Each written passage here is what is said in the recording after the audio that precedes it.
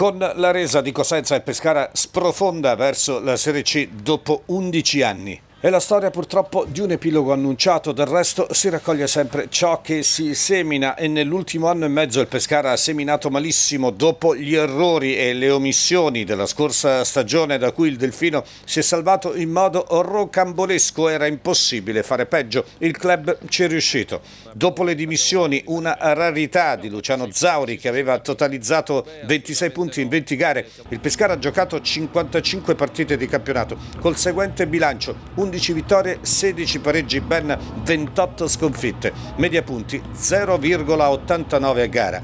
Un dato che dice tutto, soprattutto impone una riflessione profonda, in particolare sul modo di fare calcio. Un fallimento, la figuraccia cosmica di Cosenza e la fotografia di una stagione che definire sciagurata non rende esattamente l'idea.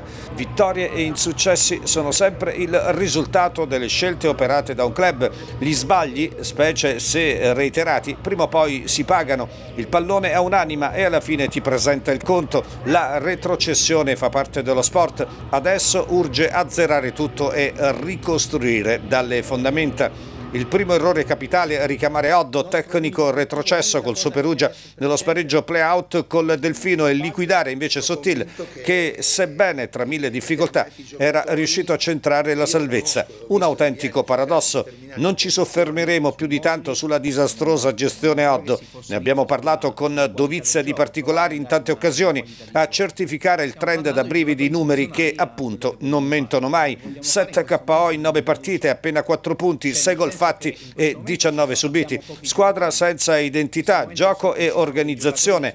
Non regge neanche il discorso sulle richieste fatte disattese, ivi compresa la rifondazione auspicata ma mai avvenuta. In questo caso c'è un istituto di nome dimissioni. Sotto questo profilo Zauri rimane un fulgido esempio. Rosa non c'è dubbio alcuno, ha semblata male, ma il peggio è stato fatto nel mercato di gennaio l'ennesima opportunità buttata alle ortiche con l'11 biancazzurro fuori dai playout grazie alla soffertissima vittoria di Reggio Emilia.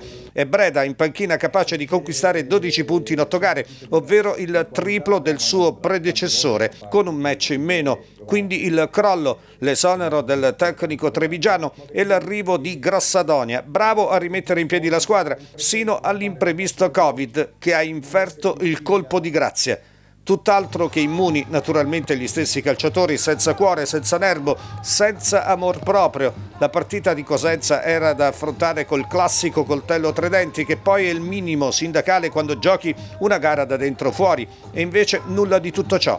Anche per questo sarà necessario un repulisti per tornare a fare calcio come si deve, soprattutto con logica e chiarezza.